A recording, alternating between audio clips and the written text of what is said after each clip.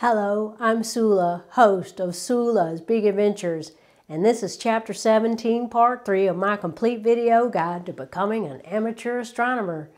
Guide to the Constellations of Spring. In Part 1 of this chapter, I provided an overview of the constellations and I discussed the constellations of autumn. And if you want to start there, here's the link. In Part 2, I covered the constellations of winter. Now I'm going to cover the constellations of spring. Ah, spring. In this video, I'll show you how to find the constellations of spring, and I'll tell you about the legends and myths associated with those constellations, and what notable objects you can see in each constellation, with your naked eye, with binoculars, or small telescope, and big telescope. The constellations I'll be covering in this chapter are Ursa Major, Ursa Minor, Leo, Boötes, Canis Venatici, Coma Berenices, Corona Borealis, Hercules, Corvus, Hydra, and Virgo. So let's go outside and find the constellations of spring. It's a beautiful evening for stargazing and to look for some constellations. In spring, we can start by facing north and looking for one of the most familiar patterns in the sky, the Big Dipper. You'll probably recognize it. It looks like a bowl with a handle it's also known as the plow. And in spring, the bowl will be on top of the handle, or later in spring, it'll be pouring out its contents. Right now, it's uh, the bowl is on top of the handle. And here it is. But it's not actually a constellation. An asterism is just a pattern of stars in the sky, whereas a constellation is an actually official designation by the IAU. The actual constellation is Ursa Major, the Big Bear. But most people recognize the asterism known as the Big Dipper as part of Ursa Major. So that's where we're going to start. So here's the bowl, and from the bowl of the Dipper, we can find other constellations. The two stars at the end of the bowl, Dubhe and Merak are known as the pointer stars, and they will point to Polaris, the North Star, and Ursa Minor, the Little Dipper. And in between the Big Dipper and the Little Dipper is Draco, the dragon. And you can follow his tail, and he runs in between them and down and curves underneath the Little Dipper to the head of the dragon here. And if you continue the line from the pointer stars in the Big Dipper through Polaris, the North Star, it will point to the top of the two-story house, Cepheus, the king. And here it is, it's kind of faint. And then going back to the Big Dipper, the two pointer stars point in the opposite direction to Regulus, the brightest star in the constellation Leo the Lion which contains the asterism, the sickle, or the backward question mark. And here it is. And going back to the Big Dipper, the last star in the handle of the Big Dipper is called Alkaid, and it makes an arc, and it arcs to Arcturus, the brightest star in Boötes, the herdsman. And continuing in a line from Arcturus, will take you to Spica or Spica. It's the brightest star in Virgo, low on the horizon. So from the handle, Alkaid, arc to Arcturus, and speed to Spica or Spica. Below Spica or Spica in Virgo, low on the horizon will be a misshapen square or trapezoid, Corvus, the crow. Going back to Alkaid, the end of the handle of the Big Dipper, you'll find two small constellations, Canis Venatici, which is basically just two stars, and below or maybe to the right of that will be a right angle known as Coma Berenices.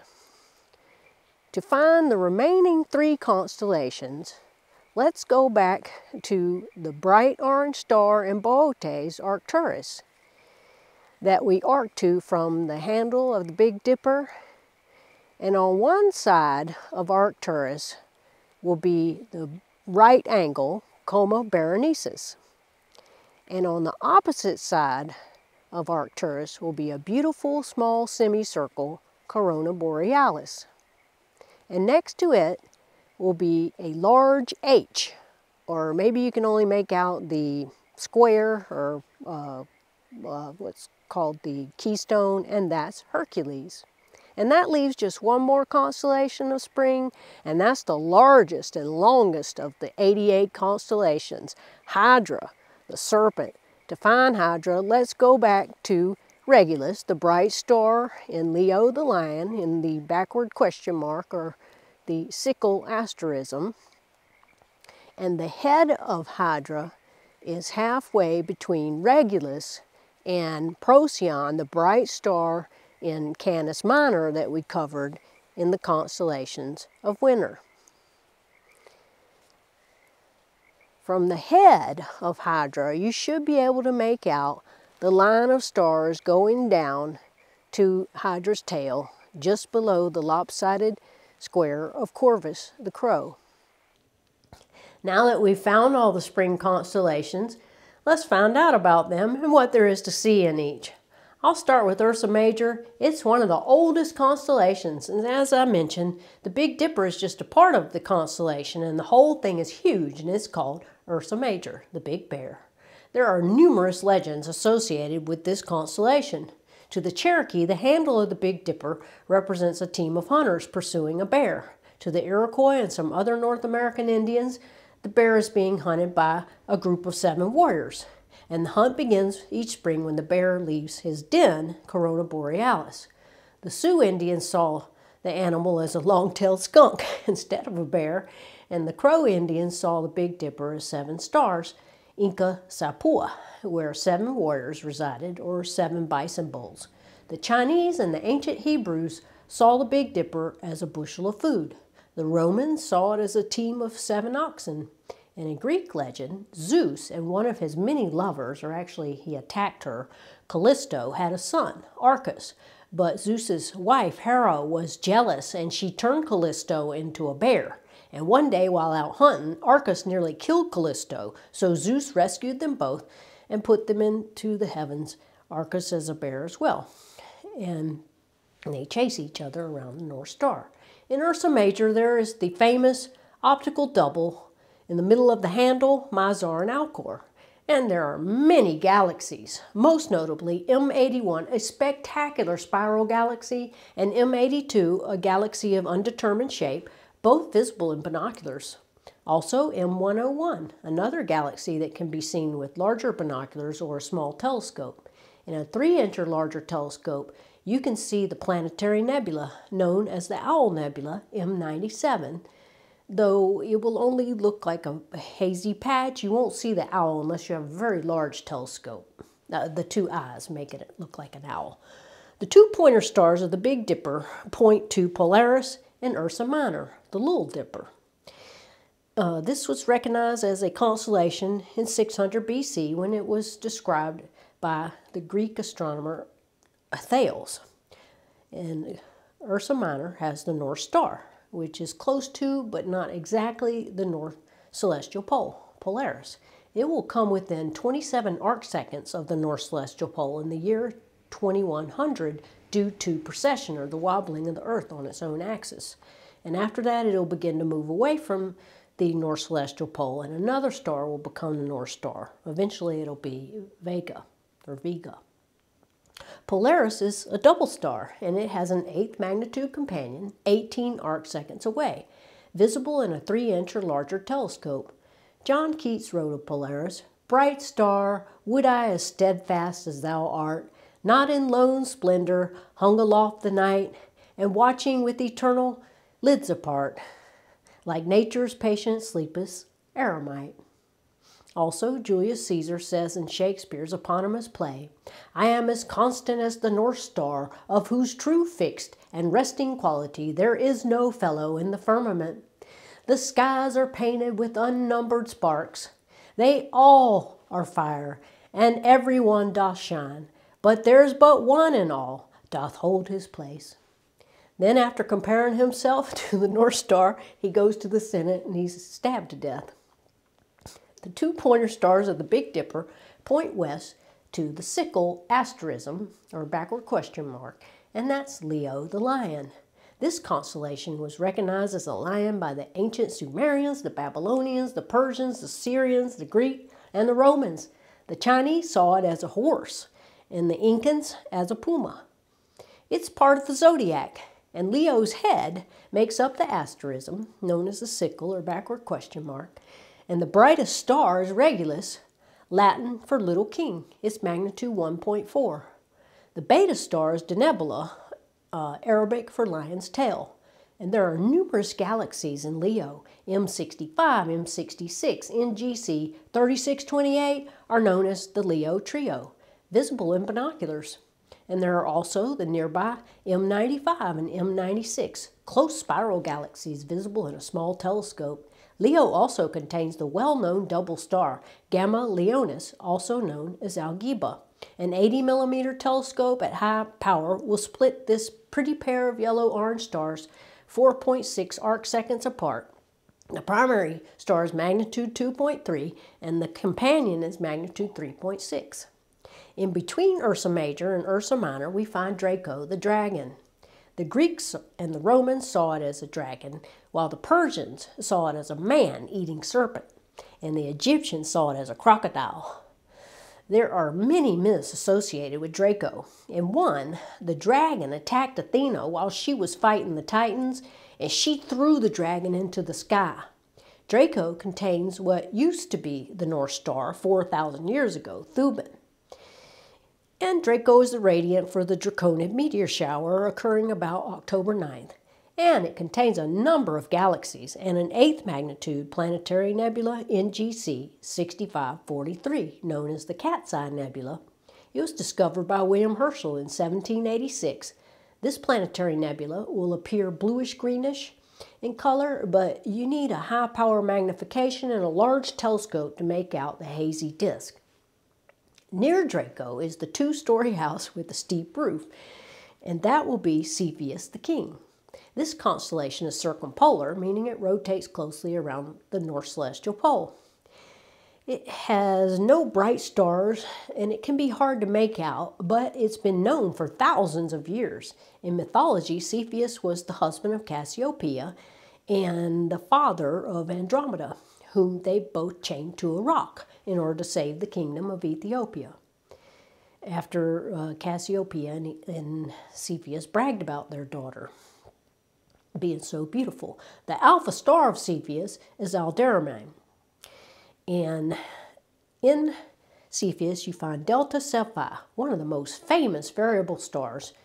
And it's a prototype variable known as Cepheids that made American astronomer Henrietta Swan Leavitt, famous for her discovery of the relationship between period and luminosity in Cepheid variables, which help determine their distance from Earth. Also in Cepheus is Mu Cephei, a star so red that William Herschel dubbed it the Garnet Star. Mu Cephei is magnitude 4, one of the largest known stars. If it replaced our sun, it would engulf the orbit of Jupiter. And it's a supernova candidate. Cepheus is rich in star clusters and nebulae, including IC 1396, an open cluster just one and a half degrees south of the Garnet Star.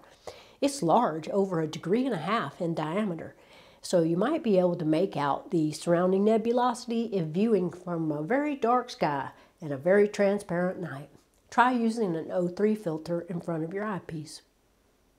Back to the Big Dipper, the end of the handle points to Boötes. The name derives from Greek for the herdsman, and the constellation is often depicted as a herdsman leading the dogs of Canis Venatici, chasing the bears of Ursa Major and Ursa Minor. The brightest star of Boötes is Arcturus, the fourth uh, brightest star in the sky, magnitude negative 0.5. Arcturus is only 34 light years away, and is also known as Arcas, the son of Zeus and one of his lovers, Callisto. Arcturus has a large proper motion and has moved about a degree in the past 2,000 years, which is a lot. The other stars of Boötes are not very bright. Some people say that the constellation looks like a kite, but the other stars are so dim it's hard to see a kite, to me anyway.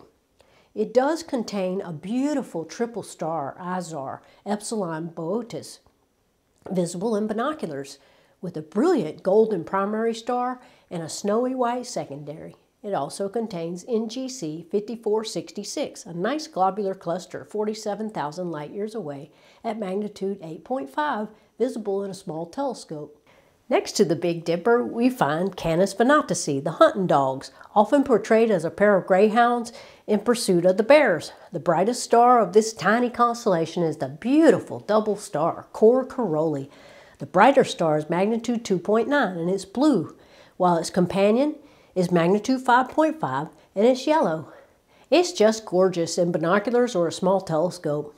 Also in Canis Venatici is the spectacular globular cluster M3, about 10 arc minutes wide, magnitude 6, and a 6-inch telescope, hundreds of individual stars can be resolved. Canis Venatici is also home to the famous Whirlpool Galaxy M51, 31 million light years away, and the first to be identified as a spiral galaxy. M51 is not far from the end of the handle of the Big Dipper and at magnitude 8.5, it's visible in binoculars from a dark sky site or a small telescope from very dark sky. But it'll only appear as a fuzzy patch. With a 6 inch or larger telescope, you should be able to make out the spiral structure.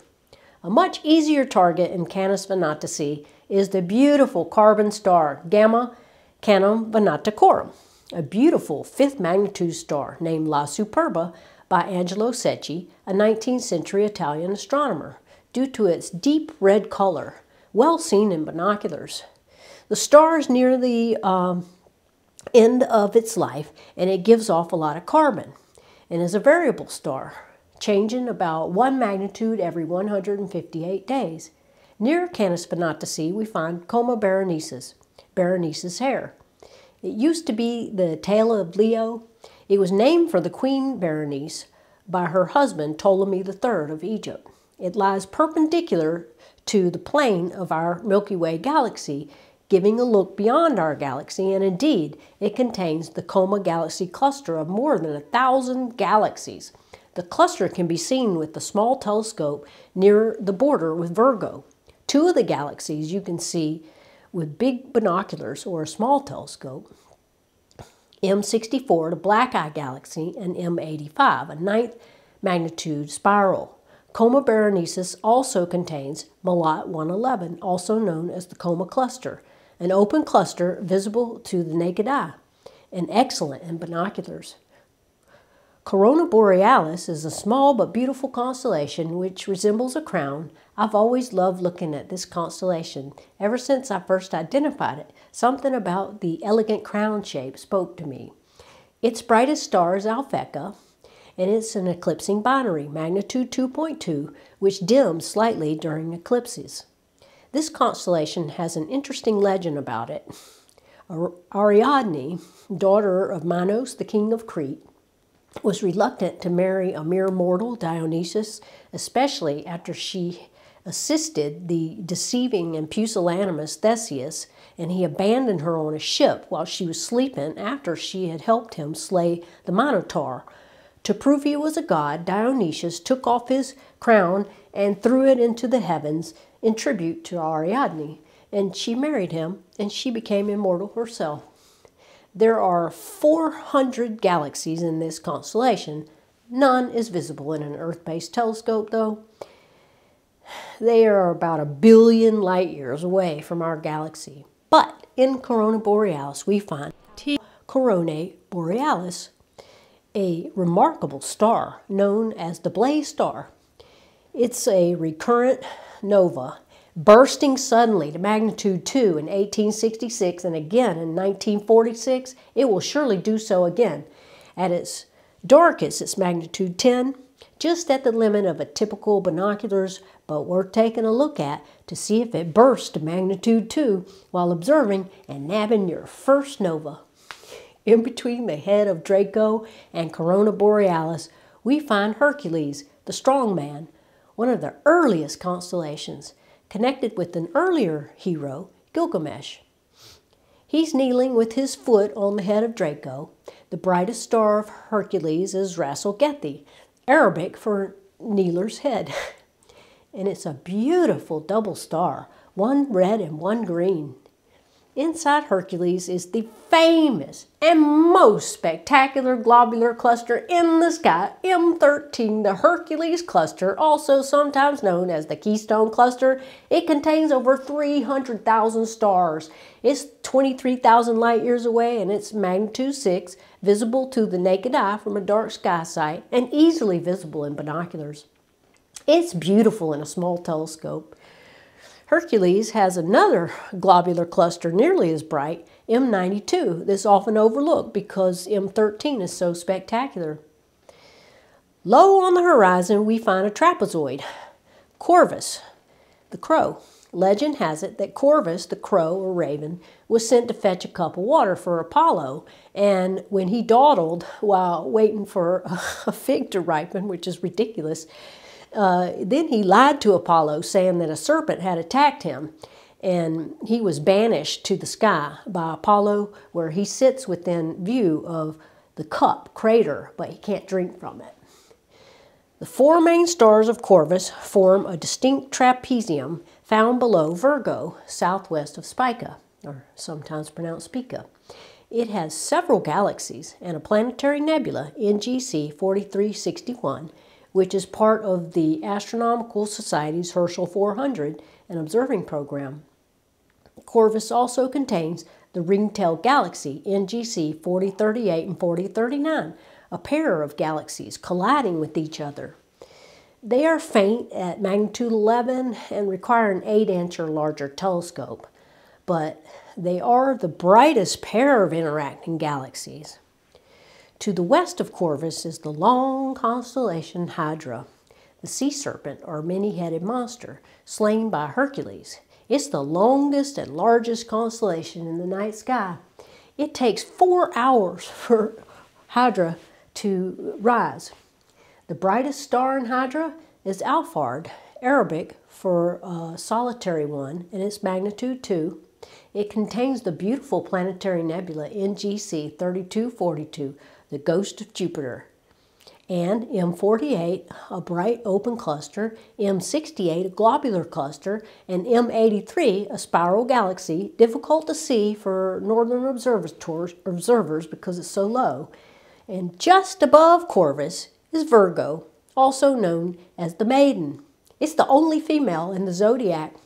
It's one of the oldest constellations and has assumed the identity of numerous deities worldwide including Ishtar, Isis, Demeter, Athena, and Artemis.